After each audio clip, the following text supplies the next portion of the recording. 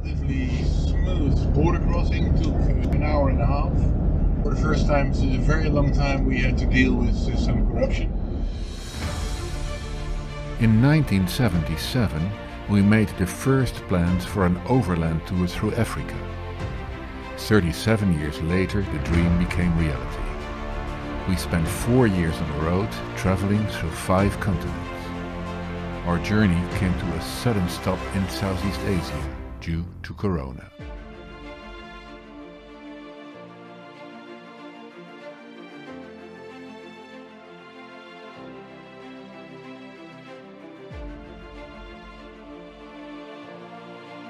We have hit the road again, but nobody knows where and when our voyage will end.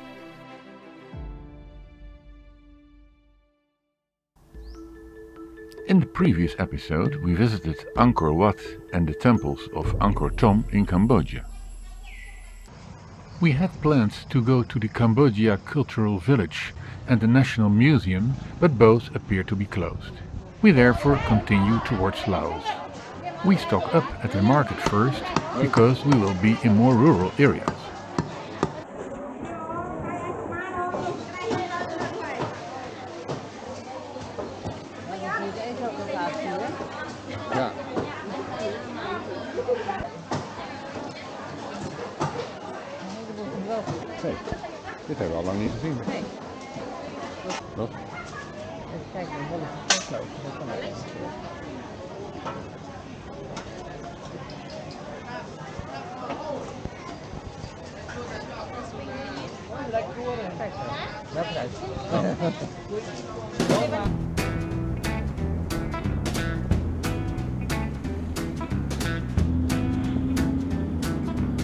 It's a beautiful drive on a very decent road through traditional rural areas with numerous villages. Like in many other countries, from time to time we see long lines of fruit or vegetable stalls, all selling the same item. We make a stopover at the Beng Mealea excavation. We have arrived at the Beng Mealea temple. It's by road some uh, 70 kilometers uh, away from Siem Reap and it belongs to the same group as the Angkor uh, temples. Largely unrestored and until a few years ago hardly accessible, so it gives a real jungle feel. Nou, toch ook hier met bewerkingen. Ja. Dat is wel een mooi zelf met die olifant. Ja.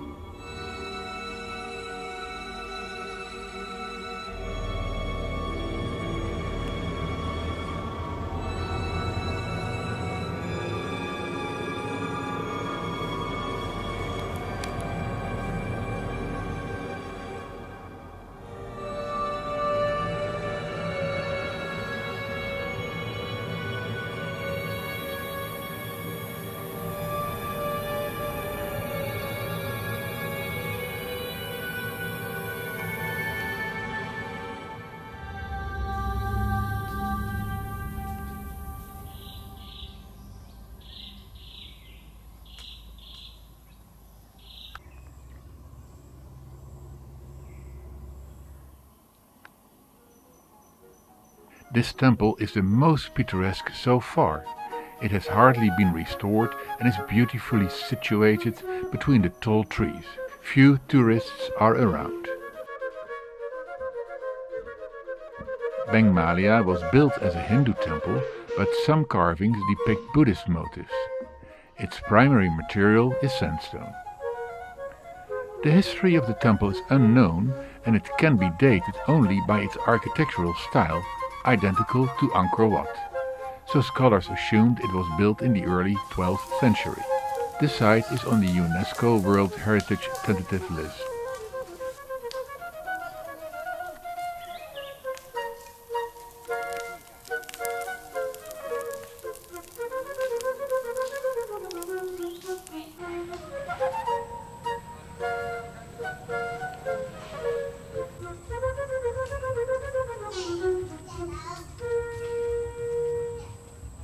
Places we'll still come across mine clearing signs.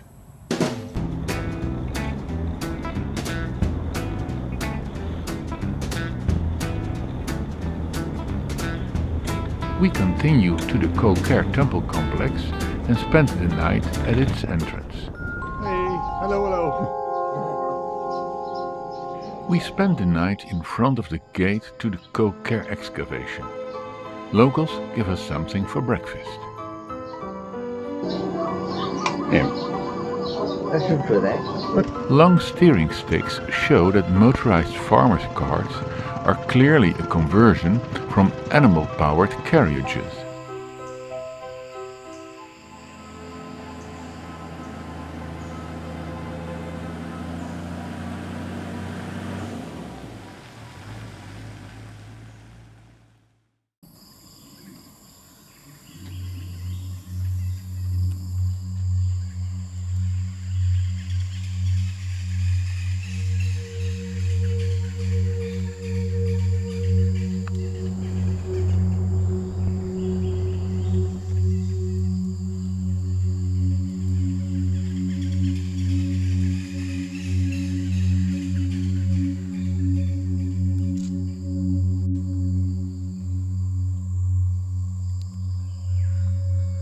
Koh Ker is a remote archaeological site in northern Cambodia.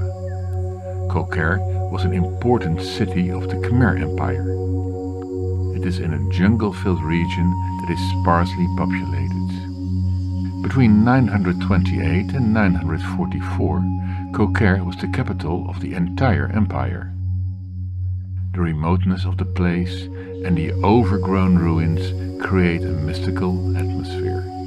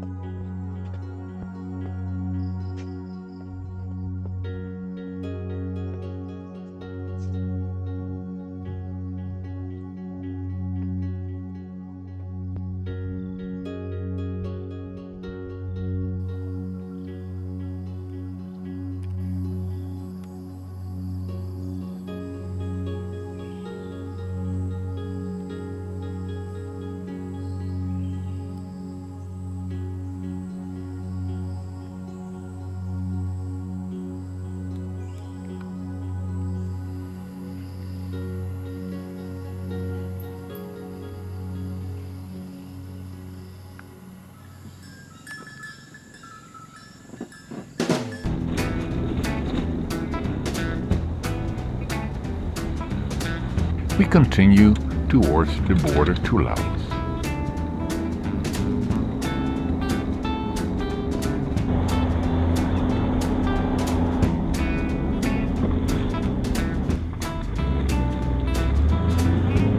The road is much better than before in Cambodia and along the way we encounter fewer villages.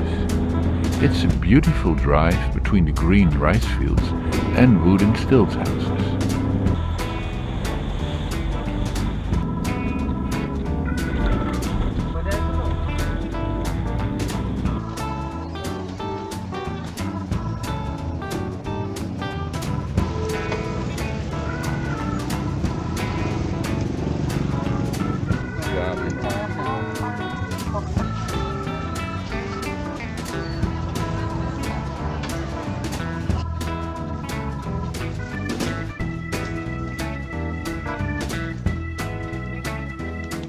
Okay.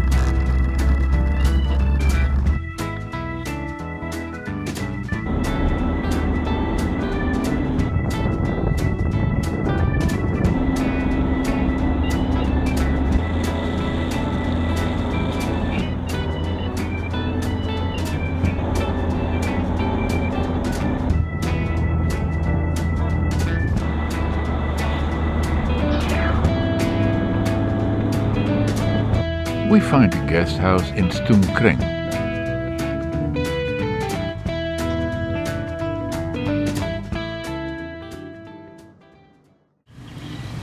It's quaint but dirty.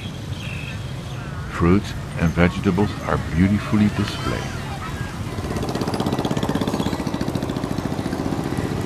In carts along the boulevard hang pieces of meat from animals that we cannot identify.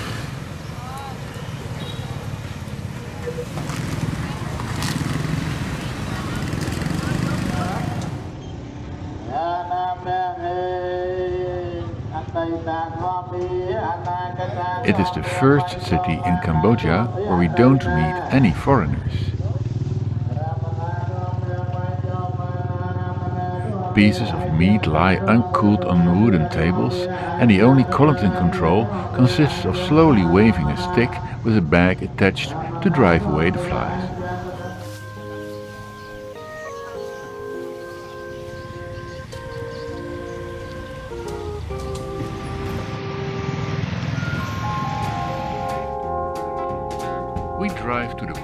On a road that is getting worse and quieter.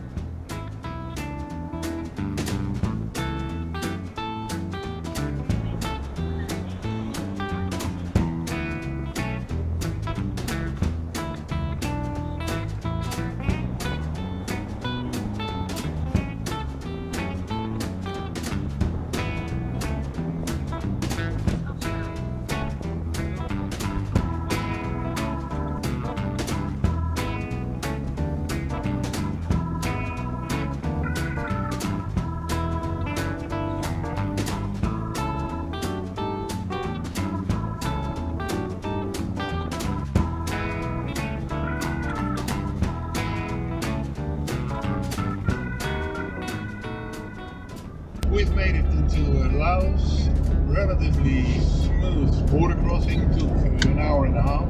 And for the first time in a very long time, we had to deal with some corruption. They asked in total uh, $24, and we ended up paying six. We settled down at a guest house with a room with a veranda on a large lawn. In the next episode, we go cycling on Khong Island and along the Mekong River in the south of Laos.